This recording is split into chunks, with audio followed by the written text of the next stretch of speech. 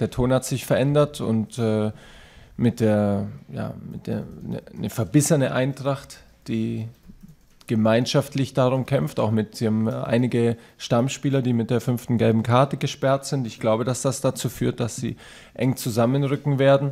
Ich habe da nicht allzu lang, weit entfernt, der auch davon trainiert in Mainz. Wir wissen, wie emotional es dort ist, wie emotional die Fans sind. Da sind auf jeden Fall alle Lampen an, wenn die hier spielen. Wir spielen nicht für solche Dinge. Wenn die Dinge passieren, ist es äh, eine, eine, tolle Bestätigung dafür, dass es, dass es auch, und, und das ist auch manchmal wichtig, dass man so solche Rekorde knackt, ähm, ohne daran zu denken. Wir sind die Mannschaft mit den absolut meisten Pflichtspielen in dieser Saison.